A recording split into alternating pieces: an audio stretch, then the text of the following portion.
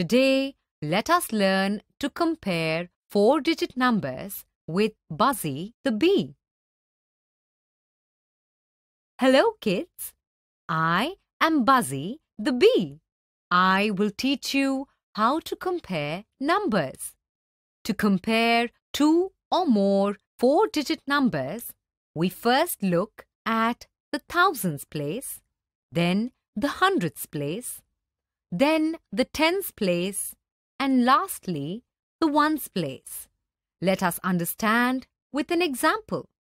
Look at the numbers 3672 and 3843 on the flowers.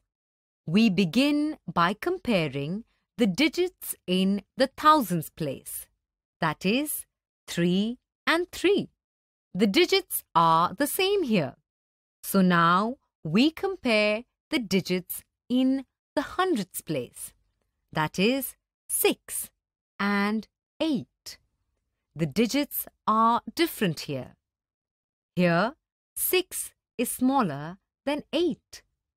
So, the number 3672 is smaller than the number 3843.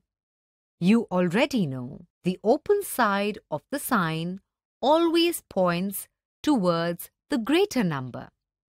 The closed side of the sign always points towards the smaller number.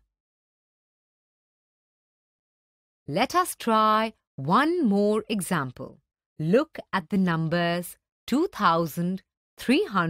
2318 and 2314 on the flowers.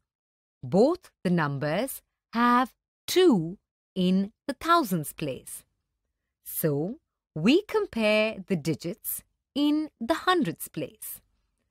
Both the numbers have 3 in the hundreds place.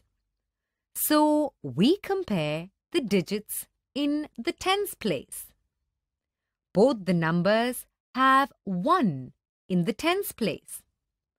So, now we compare the digits in the ones place, that is 8 and 4. Here, 8 is greater than 4. Thus, we say 2318 is greater than 2314. Kids, it is easy, but do it carefully. Bye.